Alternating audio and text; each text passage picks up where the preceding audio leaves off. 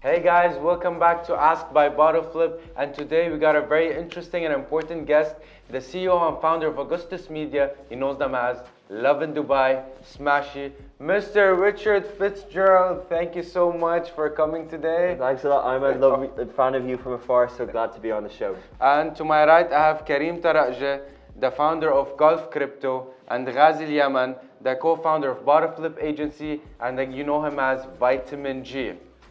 Could I call you Mr. Fitz? You can. Okay, Mr. Fitz. Who is Mr. Richard FitzGerald? Uh, I'm just a guy, another person, another individual. Uh, I'm Irish. I grew up in Ireland in a small little town, small little parish. I lived in Dublin for, went to school near Dublin, uh, went to university in Dublin, and then uh, worked in Dublin. Uh, I'd spent a year in Germany. I lived in London for a couple of years, and then I moved to Dubai 10 years ago. So, given all the accomplishments you've made in your life, if you're given the chance to go back, what will you change and what will you keep and why? I had no regrets. Like I don't look back and change things. I think we're talking about generation gaps, like given my age and yes. you guys' age, and I think like some of the stuff, like you know, I, didn't really embrace learning when I was younger. Like I would just, you know, like escapism and like going out and having fun and stuff like that. But now I embrace learning more and I kind of have a bit more confidence now, so I take action more, a bit more assertive, like in, in all parts of life. So those type of things. But you know, talking about like accomplishments, like yeah, I feel like I've got more kind of identifiable accomplishments now, like in the last sort of decade and, and stuff. But so, but I was learning a lot before.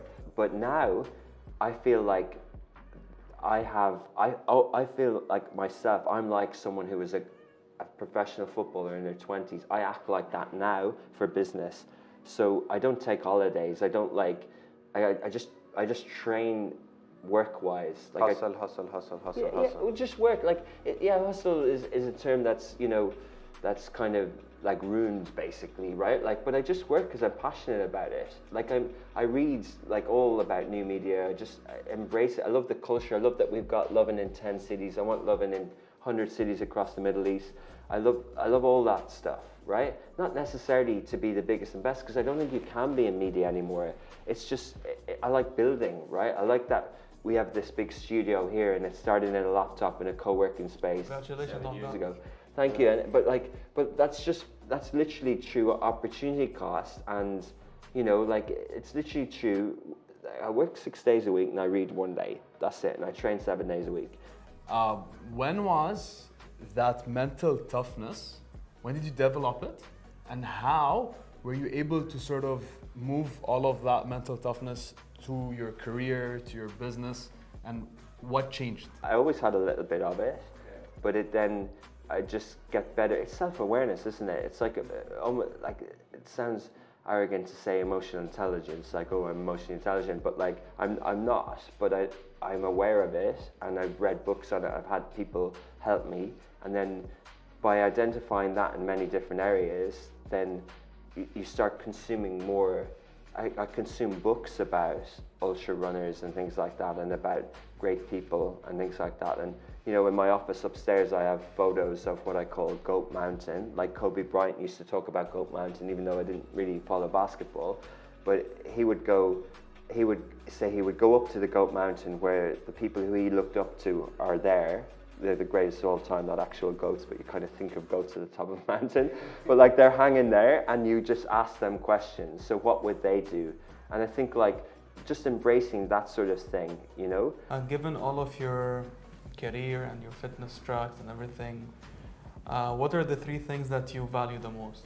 You know, again, it goes back to like linking fitness and business together. Like I think those values that I've come up with are help us perform this business well. This sounds like I'm not really opening up about what I value, but like um, I value. Kind I, of concealing. Yeah, I, I value life. I value life. I value longevity. I value uh, yeah, just just the opportunity, just being alive, right? Like I think if like that's kind of a good way to be positive because then you can sort of like appreciate and have gratitudes about uh, that sort of thing and appreciate things. but yeah, the three things I don't know, but like basically it starts with that, that I just kind of appreciate the 70, 80 years, like, you know, like we're, we're tiny little things in whatever time frame. Who, who's your, who was your mentor while growing up? Made you like think like linking fitness and business together? Did anyone like help you do that? Not really, and I think um, uh, mentors, not really, but you know when football players, I love football, right? So when football players become good managers, people try and say they were like that other manager, but actually, if they pay, played in one club and there's seven managers or in seven clubs, they learned from all those managers. You know, I worked with seven agencies and I learned from good role models in each of those agencies. Um, I have people on my board, I have good friends in the industry. It's that thing of surround, surrounding yourself with in, interesting people. So some of them would be mentors for two or three years, not just role models, some of them it would be specifically people I would ask for a lot of advice. Do you feel like all these sacrifices and everything that you've uh, done in your previous years, did it pay off? Or is there more to come and you're still sacrificing? Definitely both. So it definitely paid off, 100% paid off because uh, I believe the harder you work today, the more you will be rewarded tomorrow. Going back to that compound thing of effort, and 100% those 10 years on no money in Dublin and London like I, when I came to Dubai, I didn't have money, right? Like, I, luckily I had a good promotion and a good job, but I didn't have any money, right? Like, luckily I come from a decent enough background, and I wasn't like on the privilege. I'm not like saying that, like, but, uh, but I didn't, I didn't have any like, it, it wasn't paying off, and I could have looked at other people my age and went, ah. Oh, you know, like you guys are, are younger than I was then, but I was late 20s and I could have been like, uh, what if I joined a tech startup? I could have made shares. Or what if I started my own startup? I could have, I could have. Yeah.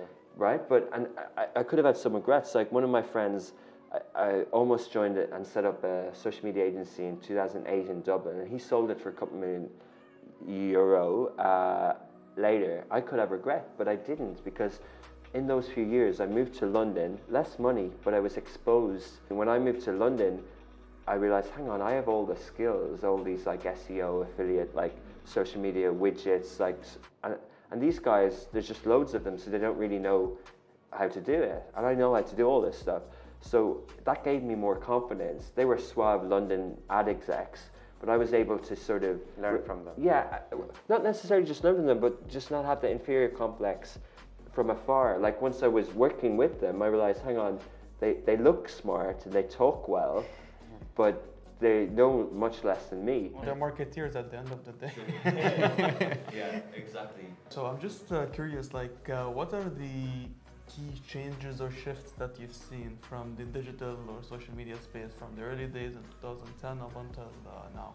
Yeah, we kind of touched on it there with the blogging thing, but there's just so many and it's so fast. Yeah. Like we think we're in a short form year, like you know, it is a short form year. It's a TikTok year, right? And TikTok's killing Instagram, and it really will kill Instagram. Like now, now the so audience is there. You heard it first, guys. What? First? TikTok's to the moon. I would disagree with you on that, though. Okay, okay, go ahead. How? Because Instagram, like Meta is too big to fail at that point. Fair, hear me. Eh, fair, right? Like Meta is Meta has brilliant engineers and it's a brilliant platform and they're self-serve, but at the moment, at the moment, advertising money. So, uh, you know, ByteDance or, or whatever isn't public, so we don't know how much money TikTok are making, but we have an idea and it's not as much as Meta or Facebook are making. When I said it will kill it, it's because now it's the kids are definitely on it and the audience is there, but the brands aren't yet. And it's like what we were talking about, the depth of the platform, dancing versus the depth of the platform, right?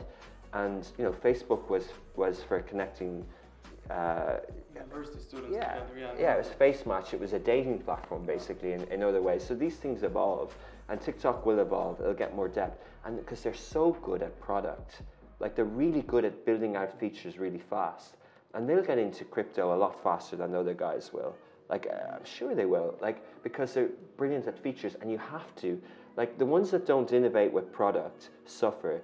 18 months ago, I was listening to a, a creator podcast, and they asked her, a really good TikToker, they were like, "Oh, you're really big on YouTube as well. How did that happen?" And it wasn't like, "Oh, I started YouTube in 2014 or whatever." The reason it happened is because she was in pandemic TikTok, and during the pandemic, or a few months later, uh, TikTok was going to be sold to bloody Walmart or something because of all this China US stuff, right? And that's just a reminder. That's only a year or two ago that people didn't think that TikTok was going to go to the moon. Now we do. We sit here and we think it will. Just like we don't think Instagram is going to die. And that's the answer. Things just move so fast. Um, last two questions because we're almost out of time. Um, number one is if you would write a book about your life, what would the title be? And number two, what are your future plans and what is your um, advice that you're going to share with young um, entrepreneurs and investors, etc.? Yeah, um, I don't believe in legacy. I, wouldn't make it about me. If I write a book, I would write about Augustus, the company, and I would tell the culture of the company in the story. Um, I don't have a name for it. When I was in agencies in the Middle East, I was thinking behind agency lines, like behind enemy lines, and talking about it in that way.